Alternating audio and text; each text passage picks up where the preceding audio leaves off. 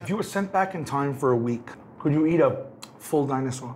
A full dinosaur. You mean for a whole day? What do you mean? I give you a week. You eat that whole dinosaur? Yeah.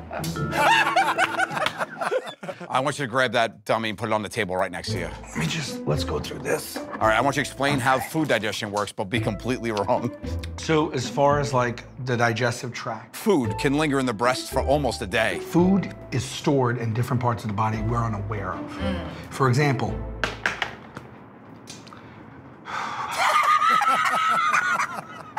a lot of people do not know that food can be held in the breast area for up to a day. Interesting. How does it get stuck there, may I ask? How does it get stuck there? Interesting. It kind of stops in that area. Yeah. Also, the throat is where urine is produced.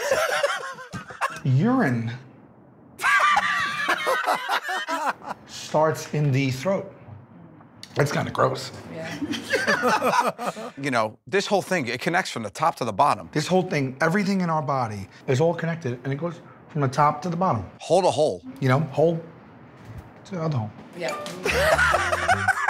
So if you had the chance to become a client based on our meeting today, you would say Yeah. yes. Okay. Ah. Thank you.